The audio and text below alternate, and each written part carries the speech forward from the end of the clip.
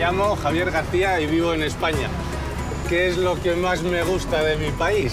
La fruta española es única. ¡Muchos dulces! Lo que más me impresiona de España, sus monumentos. ¡La tapa! O que há de melhor em Portugal? Lisboa!